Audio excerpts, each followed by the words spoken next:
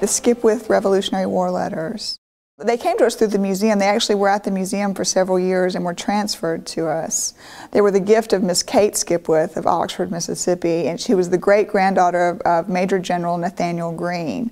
Uh, Major General Greene was from Rhode Island, and he was uh, one of uh, George Washington's go-to men during the Revolutionary War. And these are letters written during the Revolutionary War to him by men such as John Hancock, George Washington, and others. Most of them uh, are written by people uh, who are um, if, at least if you know anything about the American Revolution, they're household names. Uh, you've got Washington, of course, you've got Alexander Hamilton, you've got Nathanael Greene. So these are people that are even in textbooks.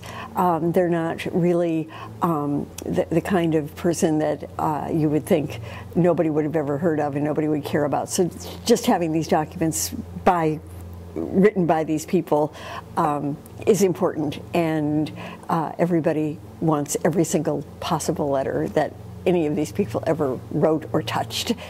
They add an, a lot to our understanding of the Revolutionary War and Nathanael Greene, who was such an important um, person to George Washington.